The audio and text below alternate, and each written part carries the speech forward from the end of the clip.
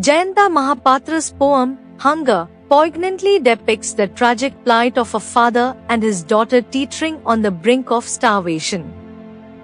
Through evocative metaphors, it starkly reveals the pervasive evil within society. The juxtaposition of two forms of hunger, the physical hunger of the belly and the sexual hunger of the loins, creates a profound impact. Mahapatra masterfully illustrates how the hunger for food feeds into the hunger for sex. Mahapatra once remarked, In hunger, I have been able to harness language, using images to both affirm and control the protagonist's sexual drive. He recounts the incident that inspired the poem. The poem sustains me with its fundamental human sequence and quiet conviction.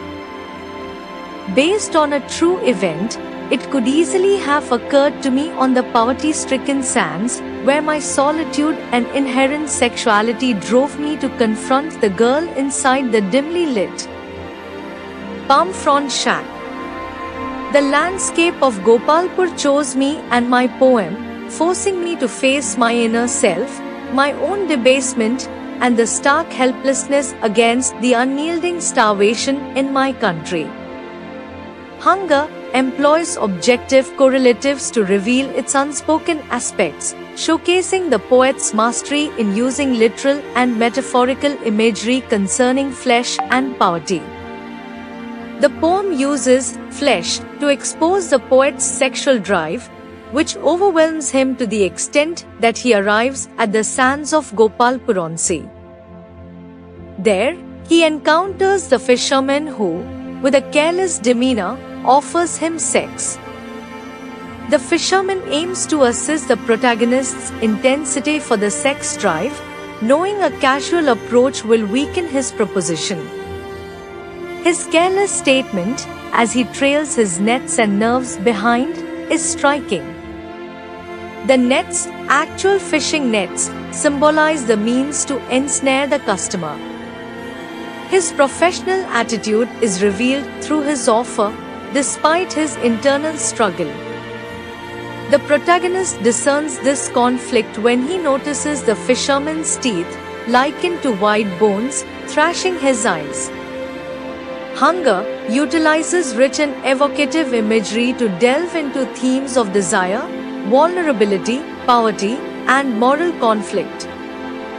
Through vivid descriptions, the poem creates a sensory and emotional experience, engaging the reader in contemplating the complexities of human hunger, both physical and emotional. The central theme of hunger is depicted through contrasting images of physical and emotional desires. The poem begins with the imagery of the speaker's heavy burden, representing the weight of sexual desire. As the poem progresses, this hunger shifts from sexual appetite to a deeper yearning caused by poverty and desperation.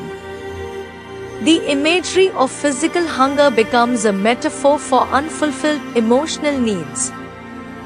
The fisherman and his daughter are central to the poem's imagery.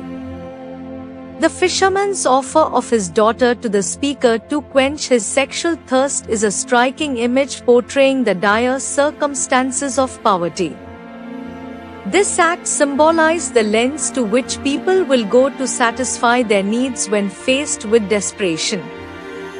The setting of the boat on the sea serves as a backdrop for the encounter between the speaker and the fisherman. The vastness of the sea reflects the vastness of human desires and the ever present undercurrent of need. It also creates a sense of isolation and detachment from social norms, allowing the taboo act to occur.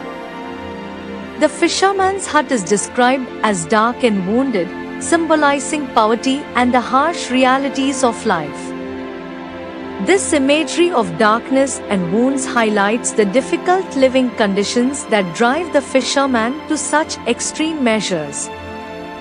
The wine symbolized the turmoil within the characters' minds and the bleakness of their situation. The imagery of palm leaves scratching the speaker's skin as he enters the hut serves a dual purpose. On one hand, it represents a physical barrier preventing him from proceeding with the morally questionable act. On the other, it symbolized the conflict between his desires and his moral conscience. The oil lamp in the hut emits smoke that fills the poet's mind. This imagery reflects the obscurity and confusion brought about by the morally charged situation. The smoke also represents the suffocating nature of social norms and expectations.